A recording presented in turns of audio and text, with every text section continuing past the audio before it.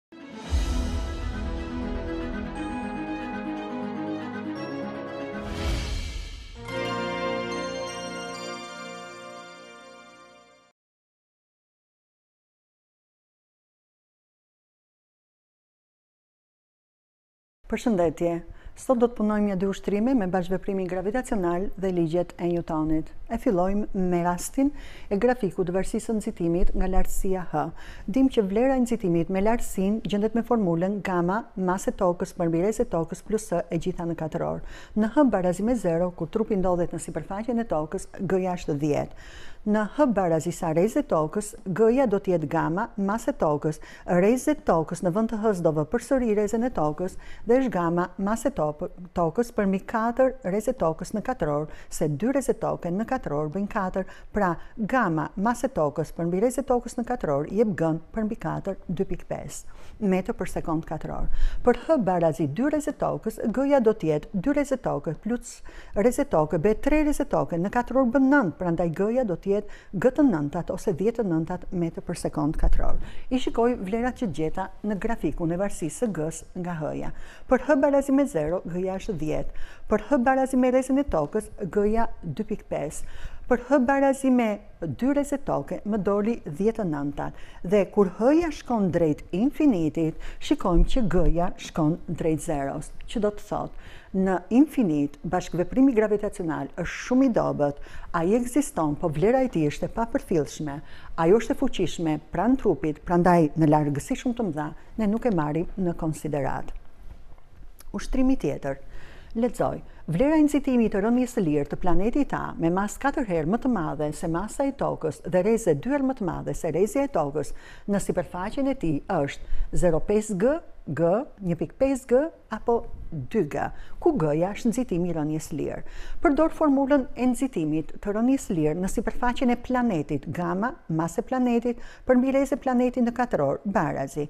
Në vend të masës së planetit vë katër masë e Tokës, sepse kështu e kemi të dhënë, dhe në vend të rrezes së planetit do të vë dy rreze Toke, sepse më thotë që është dy herë më e madhe. Dy rreze Toke e gjitha në katror, barazi gama, katër masë e Tokës, përmbi katër rreze Tokës në katror, Katra me katrën thjeshtohet dhe gëja e planetit më del gama masë e tokës përmbi rreze tokës në katror që s'është gjë tjetër veçse nxitimi i rënies së lirë në sipërfaqen e tokës prandaj përgjigja e saktë është bëja ku nxitimi në sipërfaqen e planetit është sa nxitimi në sipërfaqen e tokës Ushtrim tjetër me tërheqjen e gjithësishme. Lexoj. Ndërmjet dy trupave me masë më dhe katër më, në largësinë tre metra nga njëri tjetri, vendoset një trup i tretë me masë M, i cili ndodhet në ekuilibër nën veprimin e forcave gravitacionale. Largësia ndërmjet trupit të dytë dhe të tretë është zero pikë katër metër, një metër, dy metër apo dy pikë katër metër.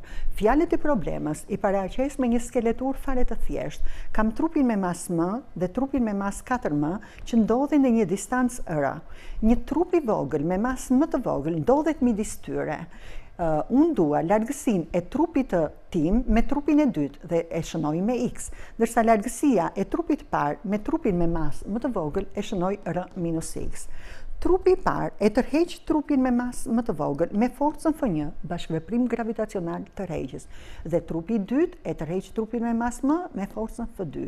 Nga të dhënat e problemës më thotë që ky trup ndodhet në ekuilibër dhe nga ligji i parë i Njutonit më duhet të shkruaj që shuma e këtyre dy forcave është e barabartë me zero nga kushti i ekuilibrit, pra F-një plus F-dy barazi me zero. Ose vlera e F-njëshit barazi me vlerën e F-dyshit.